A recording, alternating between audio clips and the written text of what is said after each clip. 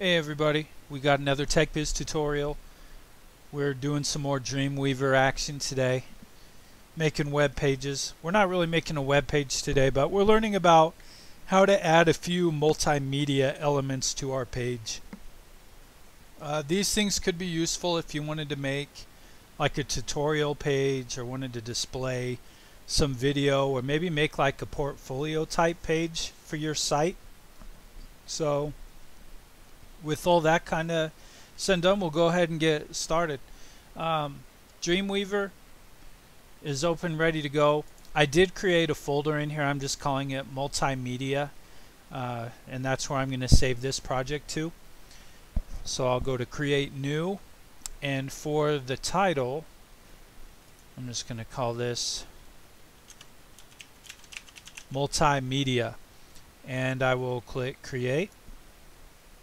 Alright, and we have this side in here. This looks pretty good.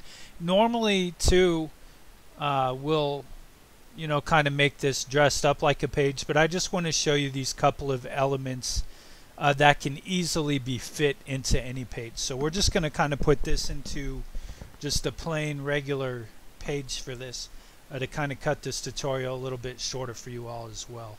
And then you can kind of use this information to apply to your other projects. Uh, and then maybe later we'll make a site that has all of this in it um, and put it all together that way. So I should go up to site and new site.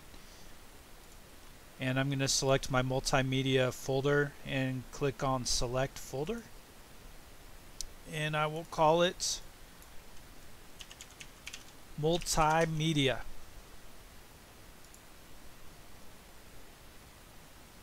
and file save as index.html and save. So here we go. We're ready to get started.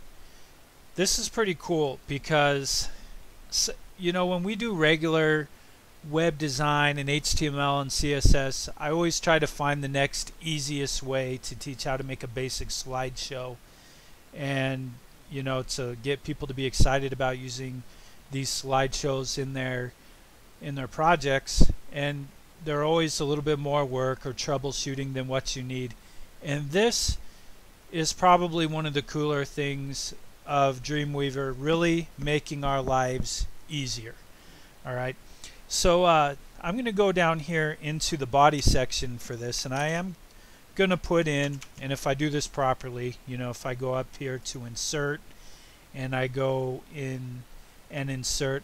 I'm just going to put in a oh let's see. I'm just going to put in a article right here.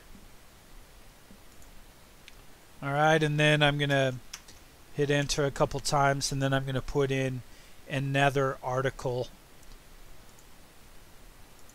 Alright and one of these we're going to use for a video embedding and the other one we're going to use for the slideshow. Alright, so this top one here, this article, I'm going to highlight the text in there that says content for a new article. Alright, I'm going to backspace that out. I want to go back up here to insert and instead of selecting any of these things in here from from our HTML tab, for the first time in this course, we're going to select something else up here and we're going to go to where it says bootstrap components. We'll be talking more in depth about bootstrap later. Alright but this is pretty cool. One of the items they have in here is called a carousel. Alright and so if I go up here and click on carousel it puts all this stuff in here already and then you'll look at these tabs my gosh, we have source code, we have Bootstrap 441, we have a jQuery, we have uh, popper.min.js, and we have Bootstrap up there again as a dot, uh, .js. Pretty crazy. And we see these new things up here, which are media queries, which we'll learn more about when we get into responsive web design. But instead of us having to know what any of those are, it automatically puts all of that in there for us right now. Alright, so right now the first thing I want to do is I want to go to File and save all and it's going to say hey all these things we want to put them in your web folder. So I'm going to click OK. I did that and just to take a look see in here back in this folder look at all this. We got in our multimedia we have these other folders that are in there now they weren't there before all right? We got one for images we got our JS and we got our CSS file. Pretty cool. So if I want to take a look at this right now and then here it says content so this is our page. It is already responsive. And that's pretty awesome in itself. And you got this cool sliding carousel slideshow. You can click on these little buttons to navigate through that or you can go through and click the arrow and go back right there they put one image in there for us already so if I go here into my images folder you'll see they have this picture called carousel placeholder .png and so we'll keep note of that uh, with our project. Now let's say I want to add, I'm going to go up one level to where, or two levels to where I have some pictures saved. Alright, and so on my image practice um, that we did before, I'm just going to take a couple of these images that are close to the same size. Alright, and I'm going to copy those pictures. And I want to go here into my uh, multimedia site folder go to images and I'm going to paste those in there. You can just take any pictures you have saved and uh, right now it doesn't matter in the size because I just want to illustrate something to you with this. Um, so here we go. I'm back to Dreamweaver. Uh, I have these here inside that images folder. Alright, and if I look in here, let me maximize my screen here so you can see what I'm talking about. And if I scroll down, uh, we have these different elements on here. Alright, first of all, these buttons here that we clicked on, those aren't just buttons, those are list items. It's an unordered list. And we'll learn more about, and if you've taken Web 1 with me, you've learned about how to take unordered lists and make them into navigation menus. It's the same kind of thing with this here. All right. Um, we have our first picture and we have two more. Let's say we want to add more to this instead of just having three pictures. All right. Then what I would do is up here on my carousel indicators, I'm just going to select this list item. Doesn't matter which one really. All right. I'm going to control C it to copy and then I'm going to press enter and paste this after that list item but before the end of the of the ordered list alright so we have those in there and the spacing's fine alright the one thing I will want to do is where it says data slide 2 I do want to change that number to 3 okay? We start with number 0 and that's our first slide and then 1 is our second slide 2 is our third slide. So it's kind of a weird numbering uh, but you'll just you'll be able to figure it out when you see that. Okay so we will now now you can see up here we have four buttons right we got four buttons to select on there uh, so you can you can modify this to do it however you want okay for for this to be uh, the next thing I want to do is to uh, go down to where we have these sections. All right, these are our slides from the slideshow. So what I can do here is, let's say I'm going to leave the first image as the one they gave us in there. All right, and then if I go down to the second one, I'm going to go here to source, and my pictures were saved as PNGs. Okay, so I'm going to backspace that part out and you'll notice if I do that, it's going to give me an option to select any of those other pictures I have saved in that folder. That's pretty convenient. Or if, if sometimes for weird reasons computers do stupid things, that might not show up, then you would just type in whatever the name of the picture is that's in that images folder. Alright? And that's why I name mine easy things to remember just in case that doesn't show up. So I put in images halloween.png all right and then Here I could say, here it says second slide heading, second slide captions. I can change this text to have it be whatever I want to say, and then the caption underneath I could change that to whatever I want. So if this was a portfolio, maybe line one uh, or the heading is going to be like whatever the title of the of the evidence is or the title of the piece of work is and then the paragraph underneath it the caption is going to be possibly my reflection or what I was trying to do with that work what I was trying to illustrate so uh, you know it could have a bunch of applications to it. But that is totally modifiable and we know all about H5 in paragraph text. So that's uh, our second slide. We're pretty good with that. Uh, this one right here we go down to the third slide and this is the alternate text. And I want to change this picture. Alright and so I'm going to select this text here. In between the images in the .png and see this time it doesn't show up there like it did earlier right?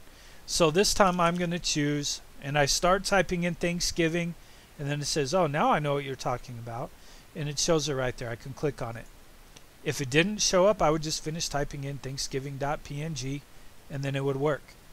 Alright and so here I'm just gonna just to show you just to illustrate that this does change it you know I, for H5 I'm gonna say Thanksgiving. Alright and then down here uh, for the paragraph I'm gonna select this text and I'm just gonna type in here pumpkin pie at Thanksgiving is the best. Alright Alright, so save my progress here.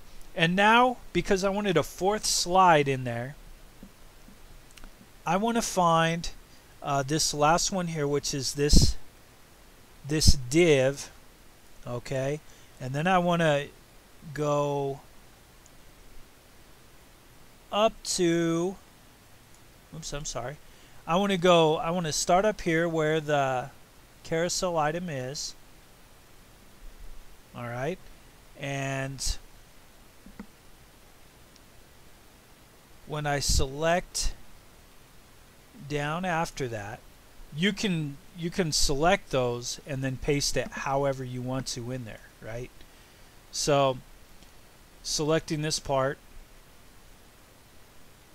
And I just want to make sure I have everything in there. I have both divs accounted for because this one here yep alright. And then this one here goes to the top one. Carousel item alright and then the same down here so I have this one here and then this one in includes that alright so I'm going to select this darn it alright and I'm going to copy that and then when I go to the end of this carousel. Here's the last one there, all right? And this is the one that closes the carousel item. So I'm going to put this in between. Double check. Um, yeah, I'm going to put it after this div, but before this div right here. All right? And I'm going to paste this in there. And it's going to just show the Halloween one in there twice that's fine. You know, if I if I added another picture into that folder, I could have, but just to save time. And so I am going to change my alternate text on this one to fourth slide. Go to save all. Alright, and now when I refresh my page on here, let's take a look and see if this works. Alright, so here's our second slide. That works. Here's our third. And then the fourth goes to a fourth slide. It says second slide here, but I didn't change that text. So I should do that here just to illustrate that it's working. Um, so right here where it says,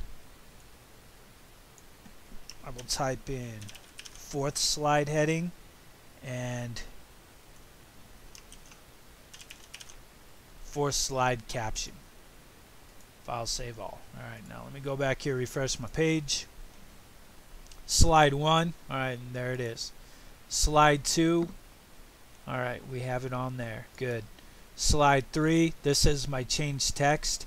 And if I wanted to, I could always go into my style sheet and change the color of that text on there. You know, if, if using a lighter picture, maybe you want to use black for your typeface.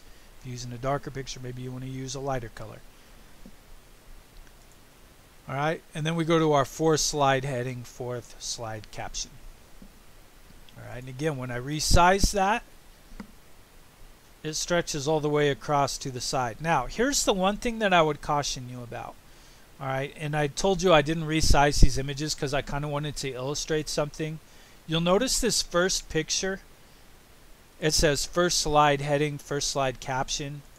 And then you go here and it makes it smaller. So because this is responsive, that's going to adjust and you really don't want that on your page. So what I would do if you're making some kind of a carousel, I would create all of those images or crop them or what have you and keep them all the same size. So that way, you know, when we scroll through here, this is pretty convenient, you know, and then I go here and because that first picture is taller it slides that that arrow down you know and it doesn't look as nice or if I'm down here and I'm navigating this way and this looks pretty good. Oh now it jumps all the way down here. See what I'm saying? It's kind of sloppy. So when you make your carousel have all the images be the same size. Uh, the one that they used I believe was 400 by 600 but I mean you could use about anything that you want as long as they're the same. Uh, so when I go here yeah 600 by 400 uh, was their uh, dimensions for their picture on there. So something to kind of keep in mind uh, to make sure that those are all kind of the same size in the specific um, carousel for that. Alright that's the first thing that we have. Uh, at the end of that article, I'm just going to put in here, you know, if I go back up here to H, and if I select after that after that div but before the end of the article that contains my carousel I'm going to insert a horizontal rule here Sometimes that won't show up. I've had people tell me that didn't show up on theirs, and I'm not sure why. And so if you need to type it in your code, it's just HR in your brackets. And you don't have to use it for the page for this, but uh, because we're going to embed a video at the end, I didn't want the video to be flush with this here, and I kind of wanted to separate these as two different elements in our page. So that's kind of what we're going to do. Um, so that's where that is. Uh, the next thing I have is in this article. Uh, if I go back up here to my source code, and we're we're down here now to our second uh, article of our web page, and this information down here is all the stuff that it added for our other uh, elements in there. All right, so. Don't worry about that. Don't erase that. That's supposed to be there. That's what Dreamweaver put in there for us to create this carousel. And in this article, I'm going to backspace this information. This time I want to embed a video. So the easiest way to do this, you know, probably actually if I would also put in a paragraph in here as well or I could give this article a class, but just for what I'm doing, I'll I'll have this be a paragraph, and um, I want to embed a YouTube video. All right, so I'm just going to go to my YouTube page here, and I'm going to put a TechBiz tutorial video inside of a TechBiz tutorial video. We're going to break this space-time continuum with this. I'll go to share and there's this embed link. Okay, so I'm going to click that and uh, when I click inside this little area, you know, I can copy it or I can click down here, go to copy. Alright, and now when I go back here to my Dreamweaver and I paste that link in there, it's going to put in an iframe element. Alright, now with the iframe you can change the size of that and do some different things. Uh, but what I'm going to do for this one, I'm going to keep this the same size uh, because so it usually works a little bit better. And then also what I want to do after the paragraph, but before the article, I'm going to insert another horizontal rule in there just to kind of be consistent. Alright, and if I look at this to make sure it's showing up in here, alright, so we have the video there, that's good. And then um, I am also going to select this paragraph that's inside that article, go to my CSS designer, and I'm going to add a selector. Alright and click on it here.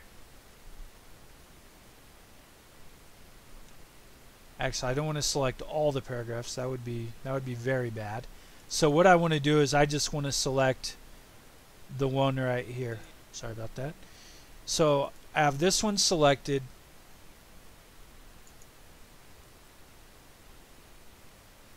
And we have all these in here to pick from this. I will tell you what.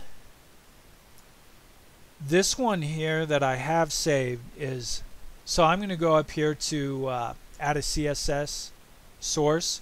And I'm going to create a new one for this because my other one is read only so I'm not going to be able to make any adjustments to that at this time so I'm going to create a new one like I have done in the past alright and then uh, I'm going to go to Browse and I'm going to have this in my multimedia folder and I'm just going to call this one um, MM Styles. Alright, then I'm going to click OK. Normally it would be best if I had all of this in the same CSS file, but where this one it created a separate one, um, it'll be fine to have a to have this be on its own. And now what I can do is if I go to this article, then up here when I go to my CSS designer, I have my bootstrap one up here which is read only and I also have this MS styles.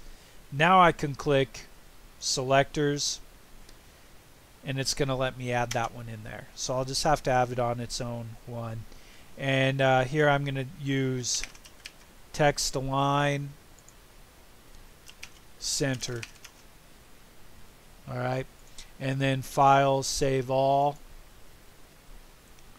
And when I look in here at my page then I have this kind of centered in the middle. And then when you click on that it'll go to your page for that. So these are two multimedia elements that you can use to make your page a little more interactive uh, sometimes it can save space instead of having a ton of pictures, just one after another, have them in a carousel uh, to where they can go through or the user can kind of slide through those and, and look at all the images. And also if you want to put in video in there, uh, you can do the same with that as well. Um, and again, you can change the size of those in your CSS. Uh, you can make the width of those be different.